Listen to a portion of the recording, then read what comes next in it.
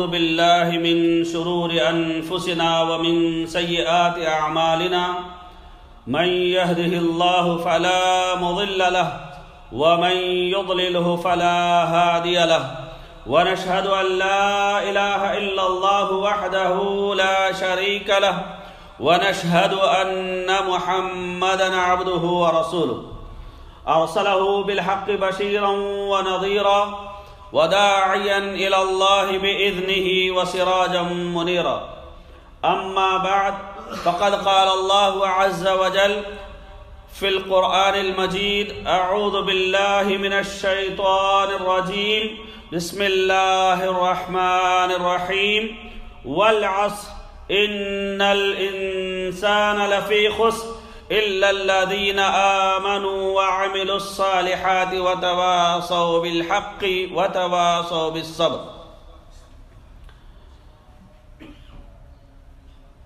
అభిమాన మిత్రులు గౌరవనీయులైన పెద్దలు అల్లాహ్ చిత్తమైతే నేటి నా ప్రసంగాంశం గతం ఒక సమీక్ష భవిష్యత్తు ఒక ప్రణాళిక. అల్లాహ్ సుబ్హాన్ హోతాలా కాలాన్ని ప్రమాణంగా తీసుకుని చెప్పిన మాట వల్ అస్ కాలం సాక్షిగా ఇన్నల్ ఇన్సాన లఫీ నిశ్చయంగా మానవుడు ఘోర నష్టానికి గురై ఉన్నాడు.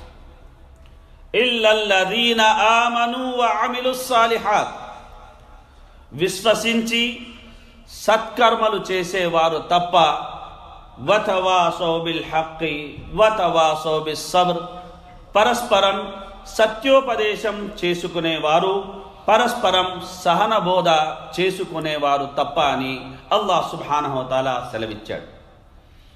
అభిమాన మిత్రులారా కాలం పరిణామశీలం. అది కాంతి కన్నా వేగవంతమైనది కత్తి కన్నా పదునైనది నీటి కన్నా ఉధృతమైనది గాలి కన్నా అదృశ్యమైనది.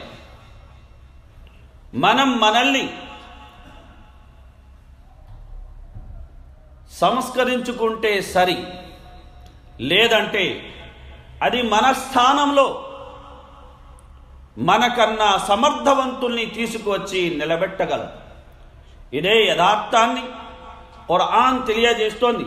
వ ఇన్ ఎస్తబ్దిల్ కౌమన్ గైరకుం సుమ్మ లా యకూను అంసాలకుం ఒకవేళ మీరు విముఖులైతే ఆయన మీకు బదులుగా ఇతర జాతిని మీ స్థానంలో తేగలడు.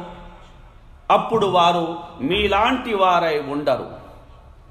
ఈ సూత్రం ఏదైతే ఉందో ఇది వ్యక్తి స్థాయి నుండి సమాజ స్థాయి వరకు సమాజ స్థాయి నుండి దేశ స్థాయి వరకు దేశ స్థాయి నుండి అంతర్జాతీయ స్థాయి వరకు అందరికీ వర్తించే యొక్క సూత్రం ఇది.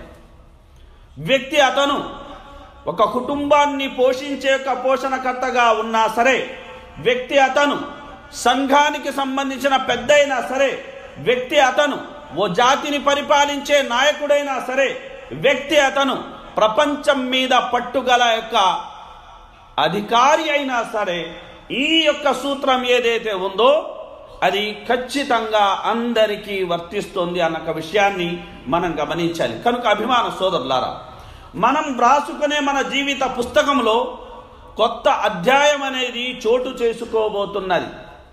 నిజంగా ధనసాములు శ్రామికుల శ్రమను దోచుకోవడానికి తయారు చేసిన క్యాలెండర్లోని కొత్త సంవత్సరం రాబోతుంది. ఇందులో సందేహం లేదు.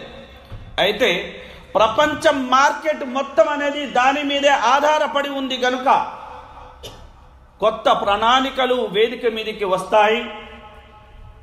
కొత్త ప్రయత్నాలు అనేవి వేదిక మీదికి వస్తాయి. కొత్త లెక్కలు అనేవి వేదిక మీదికి వస్తాయి. కనుక రాబోయే ఆ సంవత్సరంలో మన వల్ల జరిగిన పొరపాట్లను సరిచేసుకొని నగుబాట్లను తగుబాటగా మనం మార్చుకొని గమ్యం చేరడానికి అవిశ్రాంతంగా మనం ప్రయత్నం చేయాల్సిన ఆవశ్యకత ఎంతైనా ఉంది. అలాగే గతం నుండి గుణపాఠం నేర్చుకొని వర్తమానంలో ఎలా జీవించాలో భవిష్యత్తు ప్రణాళికను ఎలా తయారు చేసుకోవాలో మనలోని ప్రతి ఒక్కరూ మననం చేసుకోవాల్సిన అవసరం కూడా ఎంతైనా ఉంది. రాబోయే ఆ సంవత్సరం ఓ నూతన సంవత్సరం కొత్త పరిచయాల్ని మన జీవితంలోకి తీసుకువస్తుంది. కొత్త అనుభవాలు అనేవి మనకు ఎదురవుతాయి. అలాగే కొత్త పరిచయాలు ఏర్పడతాయి. కాబట్టి కాలమనే అశ్వానికి మనం ప్రణాళిక అనే కళ్ళెం ద్వారా కట్టడి చేసి పిడికిలి బిగించి ముందడుగు వెయ్యాలి. మనం వేసే ఆ అడుగు స్పష్టంగా ఉండాలి. మన తర్వాతి భావి తరాలకు అది ఆదర్శం కాగలగాలి. ఆ రకంగా మనం మసలుకోగలగాలి. అభిమాన మిత్రుల్లారా మనిషి జయాపజయాల్లో అతని పక్కనే ఉన్న మనసు పోషించే పాత్ర బ్రహ్మాండమైనది కీలకమైనది. ఆ మనసు ఎప్పుడు చినకవుతుందో ఎప్పుడు వానవుతుందో ఎప్పుడు వరద అవుతుందో ఎప్పుడు అది ఉప్పెనలా తయారై మనల్ని ముంచుతుందో మనలోని ఎవరికీ తెలియదు. కాబట్టి ఆ మనసు గాడిలో పడిందంటే మన యావత్ జీవితం గాడిలో పడినట్లే. ఆ మనసు గనక గాడి తప్పినట్లయితే మన యావత్ జీవితం గాడి తప్పినట్లయితే గ- తప్పినట్లే గతి మారినట్లే అలాగే మనకు చితి పేర్చినట్లే అన్న ఒక విషయాన్ని మనం గమనించాలి ప్రవక్త మొహమ్మద్ సల్లల్లాహు అలీ వసల్లం వారు ఇదే యథార్థాన్ని తెలియజేసి చెప్పిన మాట అలా ఇన్న ఫిల్ జసది ముజ్గతున్ فإذا صلح صلح الجسد كله وإذا فسدت فسد الجسد كله ألا وهي القلب మానవ దేహంలో మానవ శరీరంలో ఒక ముద్ద ఉంది. అది గనక బాగున్నట్లయితే యావ శరీరం బాగుంటుంది. అది గనక చెడినట్లయితే పాడైనట్లయితే యావ శరీరం అనేది పాడవుతుంది చెడిపోతుంది. అదే మనిషి మనసు హృదయమని మహనీయ మహమ్మద్ సలల్లాహు అలీ వసల్లం వారు సెలవిచ్చారు. అభిమాన మిత్రులారా మన జీవితాల్లో మన మనసు పోషించే పాత్రను తెలియజేయడానికి దాని మహత్తును అల్లా సుభానహోతాల ఎరుకపరచడానికి ఆ మనసు ప్రస్తావన కన్నా ముందు సూరతు షమ్స్లో అల్లా సుభానహోతాల సూర్యుని ప్రస్తావన తీసుకువచ్చాడు చంద్రుని ప్రస్తావనను తీసుకువచ్చాడు భూమి ప్రస్తావనను తీసుకువచ్చాడు ఆకాశ ప్రస్తావన తీసుకువచ్చాడు రాత్రి ప్రస్తావనను తీసుకువచ్చాడు పగటి ప్రస్తావన తీసుకువచ్చాడు ఆ తర్వాత అన్నాడు వనఫ్సిం వమా సవ్వాహా فألهمها فجورها وتقواها قد أفلح من زكاها وقد خاب من دساها ఆత్మకు మరియు దానిని తీర్చిదిద్దిన వారి సాక్షిగా ఆ తర్వాత ఆయనే దానికి దుష్టతను మరియు దైవభీతిని ఎరుకపరిచాడు. నిశ్చయంగా తన ఆత్మను శుద్ధపరుచుకున్న వాడే సఫలీకృతుడవుతాడు మరియు దానిని అడగదొక్కిన వాడు ఖచ్చితంగా విఫలుడవుతాడు. కనుక అభిమాన సోదరులారా మనం ఏ రంగానికి చెక్- చెందిన వ్యక్తులమైనా సరే మన జయాపజయాల్లో మన మనస్సు పాత్ర బయట వ్యక్తుల పాత్ర కుటుంబ సభ్యుల పాత్ర దేశ పాత్ర డబ్బు పాత్ర ఎంత ఉంటుంది అనేది తర్వాతి విషయం. మన మనసు పాత్ర అనేది అత్యంత కీలకం. కనుక మన మనసుని మనం బాగు చేసుకున్నట్లయితే మన యావత్ జీవితం అనేది బాగవుతుంది. కనుక అభిమాన సోదరులారా మన జీవితంలో ఇంత కీలకమైనటువంటి పాత్రను పోషించే మన యొక్క ఆత్మ ఆ ఆత్మ ప్రక్షాళనకు దోహదపడే యొక్క పది సూత్రాలను ముక్తసరిగా మీ ముందర పెట్టే ప్రయత్నం నేను చేస్తాను. ఎందుకంటే నూతన సంవత్సరం రాబోతుంది రాబోతుంది గనుక నూతన యొక్క ప్రణాళికలని మనిషి తయారు చేసుకుంటాడు గనుక అలాగే నూతన ఉత్తేజంతో అతను ముందుకు సాగే ప్రయత్నం చేస్తాడు గనుక ఆ ప్రయత్నం ప్రారంభించక ముందే అతను ఆత్మ సమీక్ష చేసుకోవాల్సిన అవసర అవసరం ఎంతైనా ఉంది. ఆత్మను ప్రక్షాళించుకోవాల్సిన ఆవశ్యకత ఎంతైనా ఉంది. కనుక అభిమానం సోదరులారా మనిషి ఆత్మ ప్రక్షాళనకు అస్సలు మరియు మొదటి సూత్రం ఏమిటంటే అదే తౌహీద్. ఎందుకంటే మనిషికి తన జీవిత లక్ష్యం అనేది తెలియాలి. అది తెలిసినప్పుడే తనను తన ఆత్మను సరైన యొక్క దారిలో అతను నడిపించుకోగలడు. కనుక అల్లాహ్ సుబ్హానహు ఖురాన్లో సెలవిస్తున్న మాట వమా ఖలక్తుల్ జిన్న వల్ ఇన్స ఇల్లా లియఅబుదూన్ నేను జిన్నాతులను గాని మానవులను గాని కేవలం నా ఆరాధన నిమిత్తమే నేను పుట్టించాను. ప్రవక్త ముహమ్మద్ సల్లల్లాహు అలైహి వసలం వారన్నారు ఎవరైతే స్వచ్ఛమైన మనసుతోటి సంకల్ప శుద్ధితోటి ఎవరైతే లా ఇలాహ ఇల్లల్లాహ్ అని సాక్ష్యమిస్తారో దఖలల్ జన్న వారు స్వర్గంలో ప్రవేశిస్తారు. కనుక ఇమాం ఇబ్ను తైమియా రహమహుల్లా సెలవిచ్చిన యొక్క మాట ఏమిటంటే తౌహీద్ అనేది అది మాత్రమే మనిషి యొక్క మనసుని ఆత్మని ప్రక్షాళనం చెయ్యగలదు పవిత్రం చేయగలదు అది తప్ప మరేది పవిత్రం చెయ్యజాలదు అని ఇమాం ఇబ్ను తైమియా రహమహుల్లా సెలవిచ్చారు. అదేవిధంగా ఇమాం ఇబ్నుల్ కయ్యం రహమతుల్లా అలై వారు సెలవిచ్చిన ఒక మాట ఏమిటంటే ప్రపంచంలో చోటు చేసుకునే ఏ అభివృద్ధి అయినా సరే ఏ సమృద్ధి అయినా సరే ఏ శుభమైనా సరే ఏ మంచైనా సరే ఏ పవిత్రతైనా అయినా సరే ఏ యొక్క పరిశుద్ధత అయినా సరే అన్నింటికీ మూలం కేవలం కేవలం తౌహీద్ మాత్రమే. ఎందుకంటే మనసుని బాగు చేసేది తౌహీద్ అయితే మనసుని పాడు చేసేది షిర్క్ గనక. అల్లాహ్ సుబ్హానహు ఖురాన్లో అంటున్నాడు లైన్ అషరక్త లయహబతన్న అమలు. మనం చేసుకునే కర్మలు ఎంత మహత్తరమైనవి అయినవి అయినవి అయినప్పటికీ ఎన్ని గొప్ప యొక్క విషయాలు అందులో ఉన్నప్పటికీ మనం చేసుకునే ఆ కర్మల్లో తౌహీద్ అనేది గనక లేకపోయినట్లయితే అల్లాహ్ సుభాన్ తఆలా ఆ కర్మలన్నిటినీ ఏ విధంగానూ స్వీకరించాడు. పైగా మనం నష్టపోయిన వారి జాబితాలో చేరే అవకాశం ఉంది. అలాగే పరలోకం గురించి లేచేసి అల్లా సుభాన్ తఆలా సెలవిచ్చిన మాట ఎన్నహు మన్ బిల్లా ఫకద్ ఫకద్ హర్రమల్లాహు అలైహిల్ జన్నా. ఎవరైతే అల్లాహ్తో పాటు అన్యుల్ని సహవర్తులుగా చేసి కొలుస్తున్నారో రేపు పలే దినాన అల్లాహ్ సుబానహోతల వారిపై స్వర్గాన్ని నిషేధిస్తాడు. కనుక అభిమాన సోదరులారా దౌహీద్ లేని ఆత్మ ప్రక్షణ ప్రక్షాళన మార్గాలు ఆత్మ ప్రక్షాళన పద్ధతులు ఏవైతే ఉన్నాయో అవి మన ఆత్మను పవిత్రం చెయ్యజాలవు ఎందుకంటే ఆ పరమాత్మ ఏ యొక్క సృష్టికర్త అయితే మన శరీరాల్లో ఈ ఆత్మను పొందుపరిచాడో ఆ పరమాత్మనే మనం గుర్తించకపోతే ఇంకా మన ఆత్మ ఎలా పవిత్రమవుతుంది అన్నాక ఈ సమీక్ష కూడా మనలో బయలుదేరాల్సిన ఆవశ్యకత ఉంది. ఇక అభిమాన సోదరులారా ఆత్మ ప్రక్షాళనకు రెండవ అమల సాధనం అదే దుఆ ప్రార్థన. కనుక ప్రవక్త సల్లల్లాహు అలైహి వసల్లం వారు సెలవిచ్చిన మాట లైస శైవున్ అక్రమ అలల్లాహి తఆలా మిన దుఆ. అల్లాహ్ సుబ్హానహు తాలాకు దువా కన్నా మిక్కిలి ఇష్టమైన వస్తువు ఏదీ లేదు. ఎందుకు అల్లా సుమానవతలకు దువా అంటే అంత ఇష్టం అంటే దువాలో గమనించాల్సిన విషయం మనం దువా చేసేటప్పుడు దువాని అగ్రభాగాన ప్రవక్త మొహమ్మద్ సల్లల్లాహు అలైహి వసల్లం వారు ఎందుకు నిలబెట్టారు అంటే దువాలో వినయం ఉంటుంది దువాలో విధేయత ఉంటుంది దువాలో అశక్తత ఉంటుంది దువాలో ఆశ ఉంటుంది దువాలో అంగీకారం ఉంటుంది దువాలో భయం ఉంటుంది దువాలో భక్తి ఉంటుంది కనుక కనుక అభిమాన సోదరులారా ఇమాం ఇబ్ను తైమియా రహమతుల్లాహ్ అలై సెలవిచ్చిన మాట అద్దుఆ మిఫ్తాహ్ కుల్లి ఖైర్.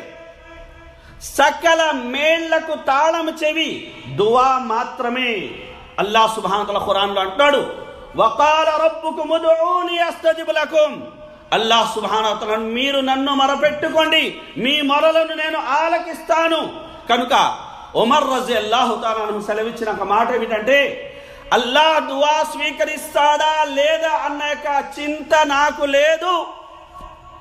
దువా చెయ్యాలన్న చింత నాకు ఉంది. ఎందుకంటే అల్లా సుభానతల దువా చేసే సద్బుద్ధిని ప్రసాదించాడు అంటే ఖచ్చితంగా నా దువాను అల్లా స్వీకరిస్తాడన్న నమ్మకం నాకు ఉంది అని ఆయన సెలవిచ్చారు.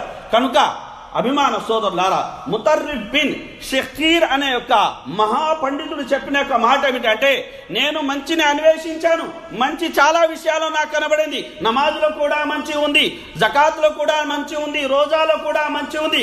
ఆ తర్వాత నేను ఆలోచించాను మరి యావత్తు మంచి అనేది ఎవరి చేతిలో ఉందంటే బియదిహిల్ ఖైర్ అది అల్లాహ్ చేతిలో మాత్రమే ఉందని తెలిసింది. మరి అల్లాహ్ యొక్క అధీనంలో ఉన్న యొక్క ఆ మంచిని మనం అనేది హస్తగతం చేసుకునేక శక్తి కలిగి ఉన్నామంటే అశక్తులం అనేది రూఢయ్యింది కనుక ఆ మంచిని ఆయన నుండి కోరుకోవడం ఏకైక మార్గం అని నిర్ధారించుకున్నాను. కనుక దువా మాత్రమే మనిషిని సకల మేళ్ళను అనేది ప్రసాదించగలదు అని ఆయన సెలవీయడం అనేది జరిగింది. కనుక అభిమాన సోదరులారా ప్రవక్త మొహమ్మద్ సల్లల్లాహు అలీ వసల్లం వారు సైతం ఆయన అల్లాహతో వేడుకునేవారు. యా ముకల్లిబల్ కులూబ్ సబ్బిత్ కల్బి అలా దీనిక్. ఓ హృదయాల్ని మరల్చేవాడా? నా యొక్క మనసును నీ ధర్మ మార్గం మీద స్థిరంగా ఉంచు అని ప్రవక్త సలల్లాహు అలీ వసలం వారు వేడుకునేవారు. మరి అంతటి మహిమాన్వితులైన పాపరహితులైన ప్రవక్తకే దువా అవసరం ఉండేది అంటే మరి పాపాత్ములమైన మనకు దువా అవసరం ఎంతటిదో అన్న విషయాన్ని మనం ఆలోచించాలి. అలాగే ఆత్మ ప్రక్షాళనకు మూడవ యొక్క సూత్రం ఏదైతే ఉందో అదే ఖురాన్ ఖురాన్ ఆత్మ ప్రక్షాళనకు జీవ జలం వంటిది అల్లాహ్ సుబ్హానహు వ ఖురాన్లో అంటున్నాడు యా అయ్యుహన్నాస్ قد جاءتكم موعظة من ربكم وشفاء لما في الصدور ఓ ప్రజలారా మీ ప్రభు తరపు నుంచి హితోపదేశం వచ్చేసింది అది మీ హృదయ సకల రోగాలను ప్రక్షాళిస్తుంది అది దివ్య ఔషధి అని అల్లాహ్ సుబానహోతాల సెలవిచ్చారు అది మార్గం చూపుతోంది. అది మిమ్మల్ని గైడ్ మిమ్మల్ని గైడ్ చేస్తుంది. మీ జీవితాల్లో కారుణ్యాన్ని కూడా అది కలుగజేస్తుంది అని అల్లాహ్ తల సెలవిచ్చాడు. ఇబ్నుల్ కయ్యం రహమతుల్లాహ్ అలై సెలవిచ్చిన ఒక మాట ఏమిటంటే మనిషి యొక్క హృదయానికి సంబంధించిన సకల రుగ్మతలు మనిషి యొక్క శరీరానికి సంబంధించిన యొక్క సకల రోగాల నుండి సంపూర్ణ స్వస్థతనిచ్చే దివ్య ఔషధి ఖురాన్. అలాగే ఇహపరమైన పరపరమైన యొక్క సకల సమస్యలకు చక్కటి పరిష్కారం ఖురాన్ మాత్రమే అని ఇమాం ఇబ్నుల్ కయీం రహమహుల్లా సెలవిచ్చారు. కనుక అభిమాన సోదరులారా మనం ఖురాన్ వైపు మళ్ళాల్సిన అవసరం ఉంది. మరి ఖురాన్ చదువుతున్నాము కదా మరి మా జీవితాల్లో ఎందుకు మార్పు రావడం లేదు? ఎందుకు అనేది మా స్థితి బాగు బాగా లేదు అన్న ఆలోచన బహుశా కొందరికి ఉండొచ్చు. దానికి సమాధానంగా ఫుదైల్ బిన్ అబ్బాస్ రజి అల్లాహు తాలా అనుమా సెలవిస్తున్న ఒక మాట ఏమిటంటే ఇన్నమా నజర్ అల్లాహుల్ ఖురాన్ లియోమలబిహి అల్లా అల్లాహ్ ఖురాన్ని అవతరించి అవతరింపజేశాడు. దానికి అనుగుణంగా మనిషి ఆచరించడానికి జీవించడానికి. అయితే ముస్లింలు దాని పారాయణే ఆచరణగా భావిస్తున్నారు. అంటే కేవలం చదువుకుంటే సరిపోతుంది అని భావిస్తున్నారు కనుక వీరికి లభించిన గతంలోని యొక్క ఘనకీర్తి అనేది ఇప్పుడు లభించడం లేదు. కనుక అభిమాన సోదరులారా ప్రవక్త ముహమ్మద్ సల్లల్లాహు అలైహి వసల్లం అల్లాహ్తో దువా చేసేవారు అల్లాహుమ్మ జఅలిల్ ఖుర్ఆన రబియ ఖులూబినా వ నూర సుదూరినా వ దిహాబ వ గుమూమినా ఓ అల్లాహ్ ఖుర్ఆన్ను మా హృదయ వసంతంగా మార్చేయి. మా ఆత్మ జ్యోతిగా మలచేయి. మా సకల సమస్యలకు మా సకల చింతలకు సంపూర్ణ పరిష్కారంగా దాన్ని చెయ్యి అని ప్రవక్త మొహమ్మద్ సల్లల్లాహు అలై వసలం అల్లాహతో దువా చేసుకునేవారు. అదే విధంగా ఆత్మ ప్రక్షాళనకు మరో సూత్రం ఉత్తమ ఆదర్శం. అల్లాహ్ సుబ్హానహు ఖురాన్లో అంటున్నాడు లకద్ కాన లకుం ఫీ రసూలిల్లాహి ఉస్వతున్ హసన. మీకోసం అల్లాహ్ ప్రవక్తలో అత్యుత్తమైన యొక్క ఆదర్శం ఉంది. ఎందుకు ఈ మాట ఇక్కడ చెప్పడం జరుగుతుంది అంటే అభిమాన సోదరులారా ఈనాడు ఆత్మ ప్రక్షాళనతో ఒక పేరుతోటి ఆత్మ యొక్క శుద్ధి పేరుతోటి ఎన్నో గ్రంథాలు రాయబడుతున్నాయి. ఎందరో వ్యక్తులు వేదిక మీదకి వచ్చి మీ ఆత్మను మేము పవిత్రం చేసేస్తాం మీ జీవితాన్ని మేము పునీతం చేసేస్తాం మిమ్మల్ని ఎక్కడికో తీసుకెళ్ళిపోతామని ప్రగల్భాలు పలుకుతున్నారు. వీరెవ్వరు మనకు ఆదర్శం కాదు. మనకు ఆదర్శం కేవలం కేవలం ప్రవక్త మహమ్మద్ సలల్లాహు అలీ వసల్లం వారు మాత్రమే. కనుక ఇబ్నుల్ కయ్యం రహమతుల్లాహ్ అలీ సెలవిచ్చిన ఒక మాట ఏమిటంటే శరీరాల్ని బాగు చేసుకోవడం కన్నా ఆత్మని బాగు చేసుకోవడం అనేది బహు కష్టమైనది.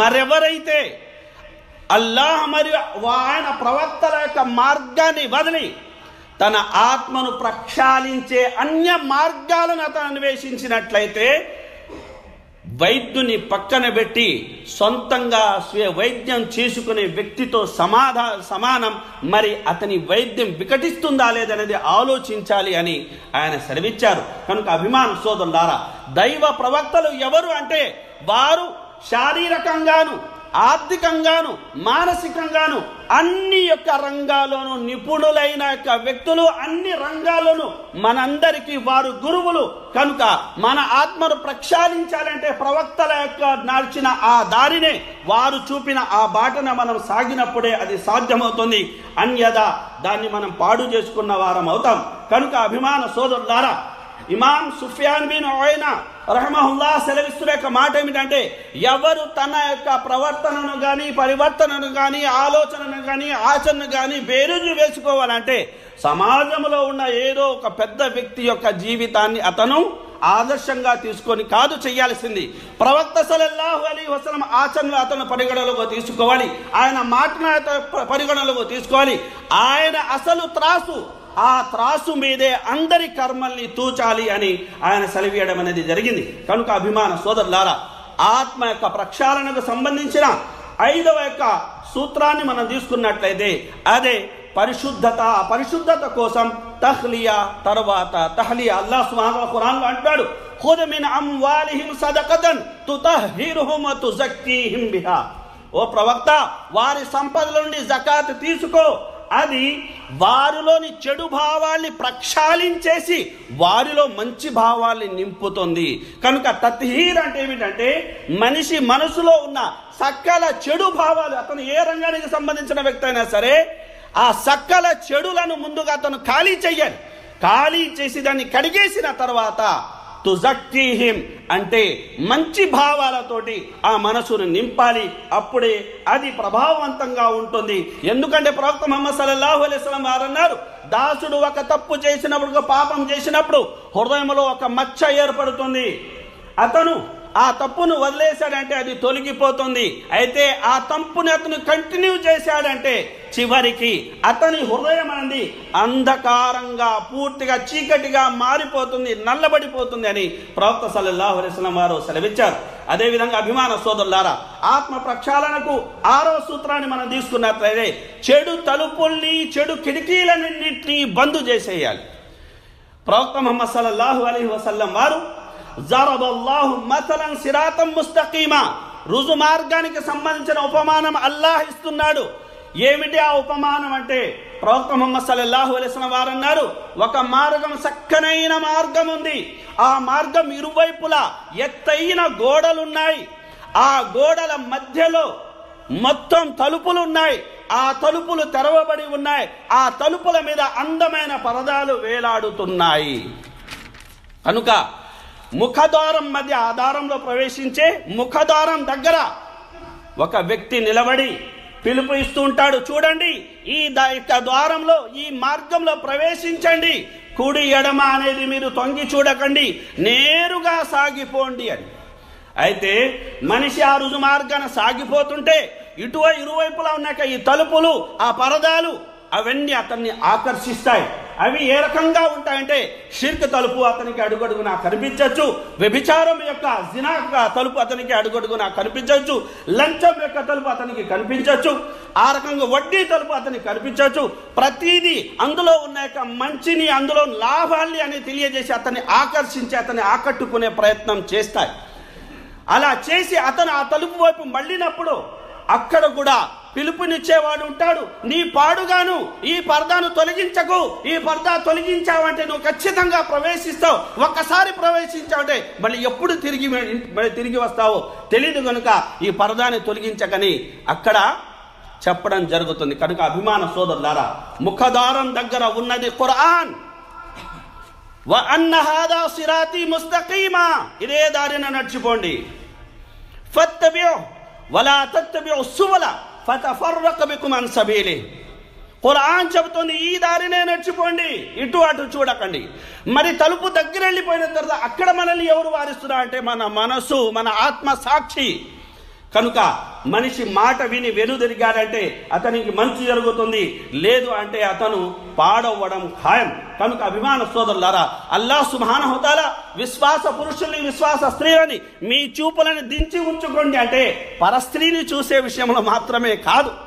ఈ మార్కెట్కి సంబంధించిన సకల విషయాల్లో మనిషి తన చూపుల్ని దించుకోవాలి. కొన్ని సందర్భాల్లో విగ్రహాలతోనే అతన్ని ఆకర్షించవచ్చు కొన్ని సందర్భాల్లో లంచం అతన్ని ఆకర్షించవచ్చు కొన్ని సందర్భాల్లో పేరు పేరు ప్రఖ్యాతులు అతన్ని ఆకర్షించవచ్చు కొన్ని సందర్భాల్లో వడ్డీ అతన్ని ఆకర్షించవచ్చు కొన్ని సందర్భాల్లో సహజీవనం అనే యొక్క వ్యభిచారం అతన్ని ఆకర్షించవచ్చు ఎప్పుడైనా ఎక్కడైనా సరే అతను మాయావి అయిన శైతాన్ మాయలో పడొచ్చు గనుక మనిషి కడు అప్రమత్తంగా అనేది తన చూపుల్ని అతను దృష్టి అదుపులో పెట్టుకోవాల్సిన ఆవశ్యకత ఎంతైనా ఉంది. కనుక అబూ హెబ్బాన్ అల్ ఒందులుసి రహమల్లా సెలవిచ్చిన మాట ఏమిటంటే అల్లా సుభానతల ఈ ఆయతలో మనసు కన్నా ముందు సరే మర్మాంగాని కన్నా ముందు చూపుని ఎందుకు పేర్కొన్నాడు? మర్మాంగాన్ని కాపాడుకోండి అని ఆ తర్వాత చూపుల్ని పేర్కొనొచ్చు కదా? అలా కాకుండా చూపుల్ని మీరు కాపాడుకోండి దించి ఉంచండి మర్మాంగాన్ని కాపాడుకోండి ఎందుకన్నాడంటే చూపే సకల చెడులకు అసలు మూలం. కనుక మర్మాంగం దాన్ని నిజం చేస్తోంది. అయితే ముందు అనేది చూపు పడుతుంది. కనుక చూపుని మనం చూపుల చౌర్యాన్ని సైతం అల్లా సుహానహతల ఎరిగి ఉన్నాడన్న విషయాన్ని మనం గమనించాలి. అదేవిధంగా ఆత్మ ప్రక్షాళనకు ఏడవ యొక్క విషయం ఏదంటే మనిషి మరణాన్ని గుర్తు చేసుకోవాలి. అల్లాహ్ను నేను కలుస్తున్నాన భావనలు ఉండాలి. కనుక సయీద్ బిన్ జుబైర్ అది అల్లాహ్ సెలవుస్తున్న మాట ఏమిటంటే నా హృదయం ఒక్క నిమిషం కోసం కూడా మరణాన్ని విస్మరిస్తే నేను పాడైపోతానన్న భయం నాకు ఉంటుంది. కనుక మరణ భయం అనేది ప్రతి ఒక్కరిలోనూ ఉండాలి. అల్లాహ్ ముందర నిలబడి మనం చేసిన ప్రతి కర్మగాను మనం నిలదీయబడతామన్న యొక్క ఈ ఆత్మ సమీక్ష అనేది మనలో ఉండాలి కనుక ఇది కూడా మనం గమనించాలి. అభిమాన సోదరులారా మన ఆత్మను మనం సంబోధించాలి. ఈ రోజు నీకు మరణం వచ్చి నువ్వు మరణించినట్లయితే రేపు నీకు బదులుగా నీ నమాజ్ ఎవరు చేస్తారు? నీకు బదులుగా నీ జకాత్ ఎవరు చెల్లిస్తారు? నీకు బదులుగా నీ ఉపవాసం ఎవరు ఉంటారు? నీకు బదులుగా కేవలం కేవలం నీకు మాత్రమే తెలిసిన పాపాల నుండి ఎవరు అనేది అల్లా సమక్షంలో తోబా చేసుకుంటారు అని మన ఆత్మను మనం సంబోధించాలి. స్వర్గానికి వెళతావా నరకానికి వెళతావా? అని మన ఆత్మను మనం పరిశీలించాలి ప్రశ్నించాలి. లేదు నాకు స్వర్గమే కావాలంటే సచ్చాక అది కుదరదు. బతికి ఉన్నావు గనుక నీ అవకాశం ఉంది. సత్కర్మలు చేసుకుని స్వర్గాన్ని సొంతం చేసుకొని హితోపదేశం మన ఆత్మకు మనం చేసుకోవాల్సిన ఆవశ్యకత ఎంతైనా ఉంది. కనుక అభిమాన సోదరులారా ఎనిమిదవ యొక్క సూత్రాన్ని మనం తీసుకున్నట్లయితే అదే మంచి స్నేహితుల్ని మనం ఎంచుకోవాలి. అభిమాన సోదరులారా మన అభిరుచులే మనల్ని కలుపుతాయి. నేను పది మందితో కలిసి తిరుగుతున్నానంటే ఆ పది మంది అభిరుచి ఎలా ఉంటుందో ఖచ్చితంగా నా అభిరుచి అదే ఉంటుంది. కనుక మంచి స్నేహితులు చాలా అవసరం. ఎందుకంటే వీరు అత్తరి లాంటి వారు. దానివల్ల సువాసన వస్తుంది లేదంటే బహుమానంగా అత్తరు మనకు లభిస్తుంది. చెడ్డ స్నేహితులు ఎలాంటి వారంటే కొలిమి వంటి వారు. ఒకవేళ కలవడానికి వెళితే ఆ నిప్పులు మన మీద పడ్డం ఖాయం. లేదంటే ఆ పొగ తాలూకు బాధైన మనం భరించాల్సి ఉంటుంది. కనుక ఇది మనం గమనించాలి. అదేవిధంగా తొమ్మిది యొక్క సూత్రాన్ని మనం తీసుకున్నట్లయితే అదే మనిషి గర్వాహంకారానికి ఆత్మస్థుతికి గురి కాకూడదు. ఈ నేను నమాజ్ చదువుతున్నాను ఉపవాసాలు పాటిస్తున్నాను తహజు నమాజ్ చేస్తున్నాను వేదిక ఎక్కి జుమా ప్రసంగాలు చేస్తున్నాను. అందరికీ చెప్పే స్థాయిలో ఉన్నాననక ఈ ఆలోచనతోటి మనిషి ఆత్మస్థుతికి గురైనట్లయితే అనర్థం జరిగిపోతుంది నాశనమైపోతాడు. అతని జీవితం యావత్ అతను చేసుకున్న పుణ్యాలు అనేవి బూర్దల పోసిన పన్నీరు అయిపోతాయి కనుక అభిమాన సోదరులారా మనిషి మంచి చెయ్యాలి. అయితే ఆ మంచిని అల్లా సుబానహతల స్వీకరిస్తాడా లేదన్న భయం అనేది అతనిలో ఉండాలి.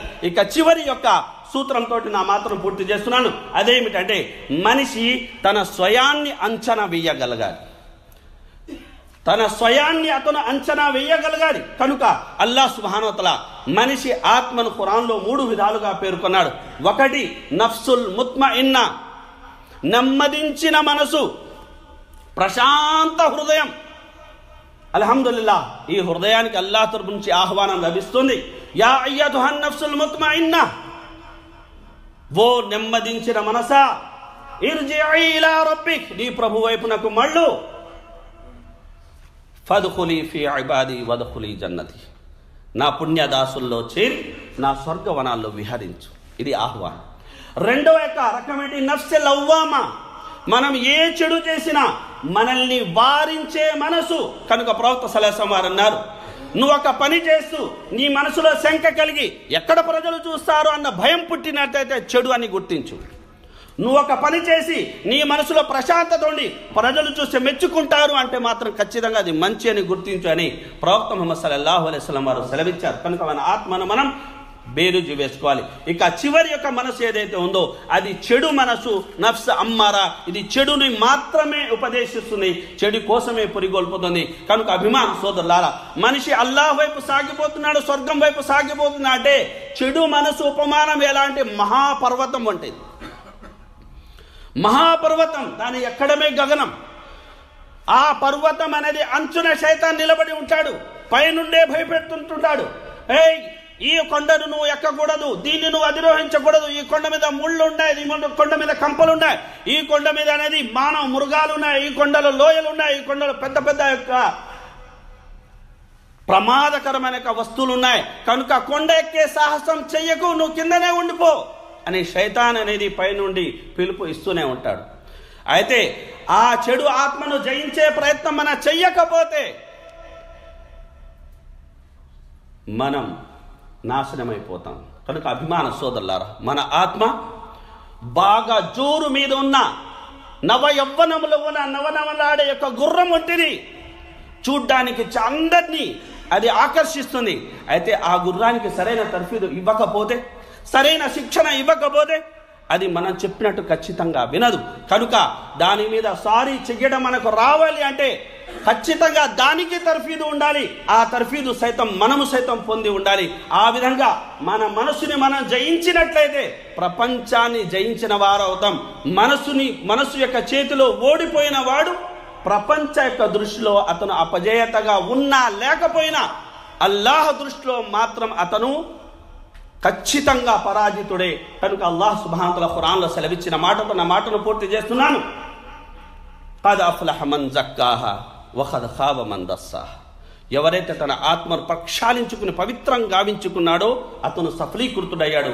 మరెవరైతే తన అంతరాత్మ ఘోషను అణిచివేశాడో అతనే విఫలుడు. అతను ఖచ్చితంగా ఇహపరాల్లో ఆ అపజయాన్ని అతను చెవి చూస్తాడు అని అల్లా సుబానతల సెలవిచ్చాడు. అపకీర్తిని మనం మూటుకో మూట కట్టుకోవడం మాని కీర్తిని పెంచే మార్గాలు మనం అనుసరించాలి. మనకు రాబోయే యొక్క నూతన సంవత్సరం ఆ విధంగా అనేది అది మన జీవితాల్లో చోటు చేసుకోవాలని నేను మనఃపూర్వకంగా వేడుకుంటూ చెప్పబడిన విషయాల్ని చెప్పే నాకు వినే మీకు మనందరికీ పాటించే సద్బుద్ధిని అల్లా సుబ్హానహు ప్రసాదించాలని కోరుకుంటాను. ఆమీన్. బారక్ అల్లాహ్ బారక్ అల్లాహ్ లనా వలకుం ఫిల్ ఖురానిల్ హకీమ్. వనఫఅని వయ్యాకుం బిల్ ఆయాతి వద్దిక్రిల్ హకీమ్. ఇన్నహు తఆలా గఫూరుర్ రహీమ్.